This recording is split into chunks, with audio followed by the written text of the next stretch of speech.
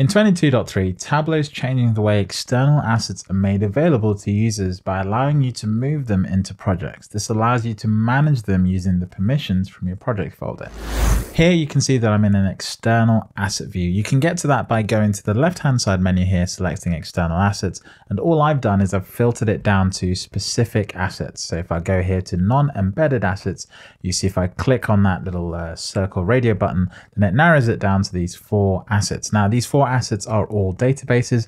I know that because here at the top, there's a little drop down where I can filter between the databases or the tables that sit in those databases. So if I switch between these two, you can see that it switches between a list of these. Now, um, with these particular databases, one of the things you can do now in 22.3 is you can select one of these, as I am now, select actions and go to move it to a project folder. This means that anyone who has access to that project can now see them depending on the permissions you give them, of course. So let's go ahead and move it to this 22.3 folder, select move assets. Notice there's that little option here at the bottom that I forgot to talk about here where, where it says when moving assets, move the tables. What that means is, is that if there's a table that sits inside of the asset, i.e. the database you've selected, that's going to go across with it as well. So let's go take a look and see how that looks like. To do that, I'll just hit this top uh, button here to say go to project. When I go to that, you'll see that I get a very busy list. And of course, I've done this already uh, to practice for this demo. And you can see that I get a bunch of items here. Now, this shows me everything, tables and databases. What I can actually do is I can filter this list to make it a little bit easier. I'll move my face to the left here, go down to this uh, content type filter, and you can see that I can just filter it to just the databases and files. And I have two databases. Uh, one is called TNMD Fivetran, and another one is Tab Tableau Demo Database. They're both coming from Snowflake. That's uh, Uh, my Snowflake ID there. If I unselect that, select tables, I see the six tables that come from those two databases. So if I was to go to data lineage on any one of these, I'd be able to see these tables sit under that. So let's go ahead and do that very, very quickly. Let's go ahead and look at this one, for example, Tableau Demo Database. You can see that I have my lineage here on the right-hand side because I have data management enabled on this particular example. And uh, it's actually going into a virtual connection, which then has six tables. So here's the virtual connection. It's got two things in there. And then what we can do is we can see all the tables involved. And I actually end up using a bunch of tables a bunch of times in this particular one. So it's not necessarily a good example. Now, the other thing to uh, sort of uh, go back and show you, if I just go back to that folder, is that in here, you can always manage permissions for everything at a project level. So if I go to these three dots and I go to permissions, you'll see that I get this list. Now, if you've been following Tableau for quite a while, you'll notice that this project's uh, sort of permissions menu has been getting wider and wider and wider to the point where at the very end of on the right hand side, there's now a more button which adds metrics, virtual connections, databases, and tables. Here, you can actually manage the view permissions and the capabilities of those databases and tables alongside with it. Now, the weird thing with databases and uh, tables in some respects is if I go to those specific permissions, it will by default use the permissions that are coming from the database itself. It essentially evaluates the database's own permissions for the user and uses that unless you change that and the setting goes slightly differently. So let's let's take a look at that in a little bit more detail. To do that, what I'll do is I'll close this down. I'll go to this particular Tableau demo database then I'll go to these three dots and I'll go to the permissions. And here you can uh, see that a little bit more clearly. So here you can see the permissions roles are, are playing out as normal. Now, if I actually just go back, I don't think this is what I was actually trying to show you. Um, if I go to invoices instead and I go to these three dots, let's see what we get here. Um, we do get the same uh, sort of setup, but this is not what I was seeing. I think the reason this is is because I'm accessing this from the project. So let's go back to the external assets. I'll go ahead and filter to non-embeddable assets because they don't they don't necessarily disappear. They still stay here, but they just moved to project so you can see them. And if I go into these permissions, do I get that option?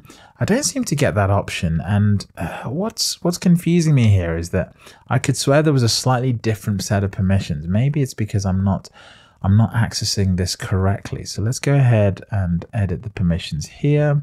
I'm still not seeing what I would like to see.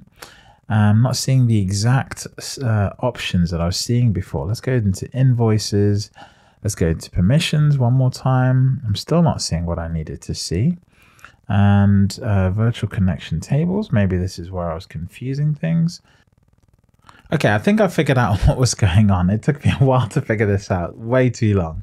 If you want to see how long it took me, go to the end of the video. I'll put the bloopers at the end. But essentially what happens is when you move the uh, assets to a project, the permissions window changes its style. So here you can see if I go to Tableau Demo Database, select permissions, you'll see that I get a slightly different style. It essentially looks like I've come to this from the projects folder. So it's essentially one uh, permission setup. However, if I go to a table that's not been moved to the permissions table, let's go to this one here uh, you'll see that I get a slightly different set of permissions. You can see here it says at the top, table permissions are locked for this database. So in this particular instance, because I've not moved the assets to a project, it's therefore assuming the permissions from the database. And if you click edit, uh, you get this little pop-up and you are allowed to then customize it. But this, at this point, you're customizing it uh, independently for the asset. Whereas if you move it to the project, that then becomes delegated to the project. I believe that's what's actually going on here. So if I then go to, let's say this table, which has been moved to a project,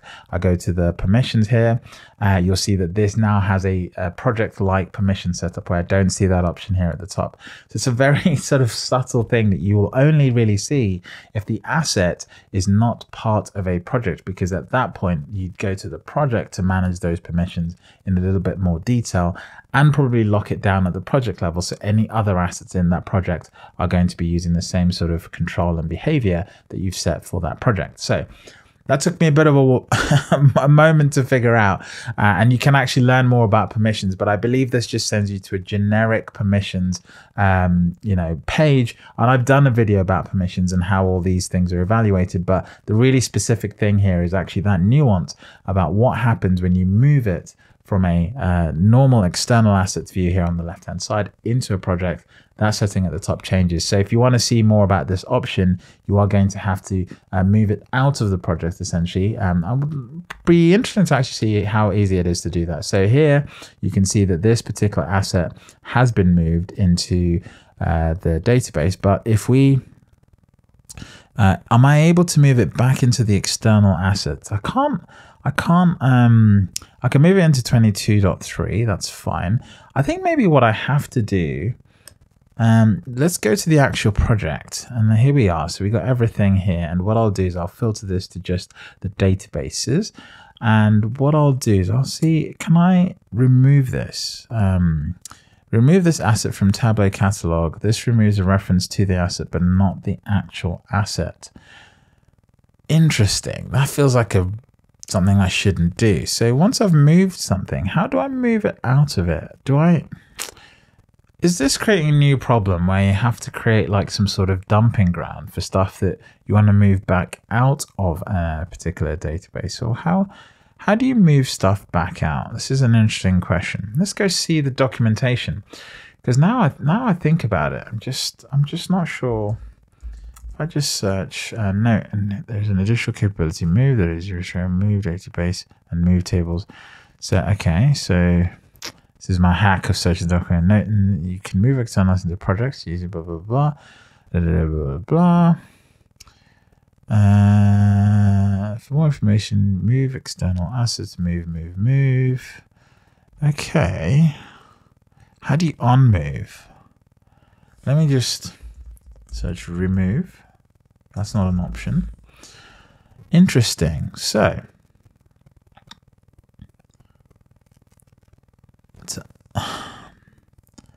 be really curious. If you know the answer to this, let me know in the comments. But if I've moved something into a project, then I decide that I'd like to move it back out.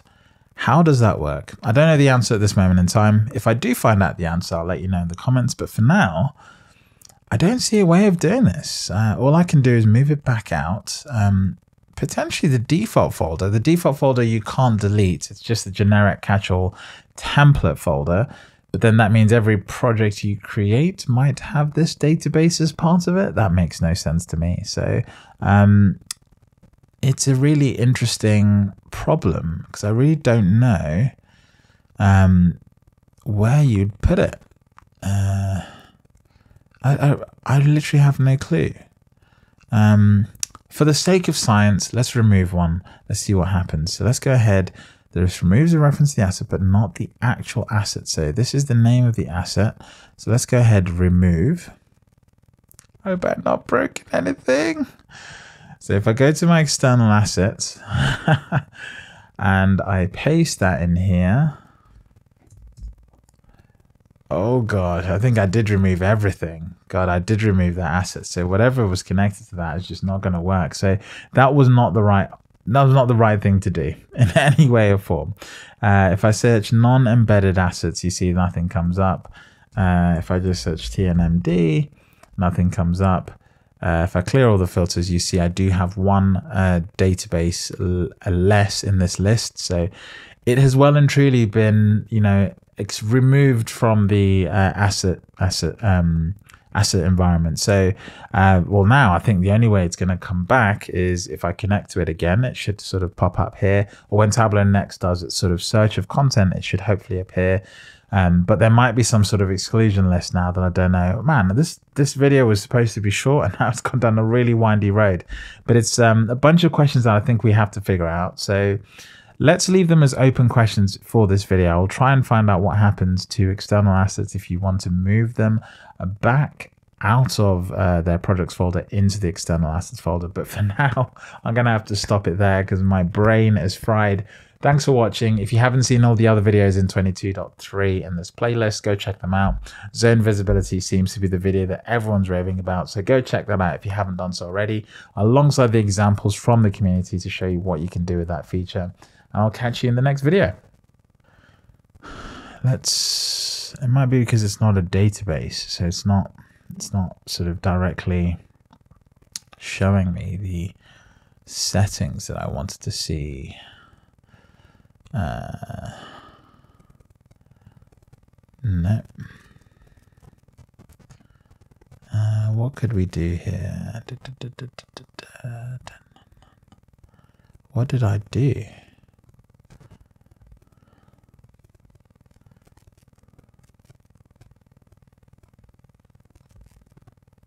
There you go. Let's move this out of the way. Employees permissions.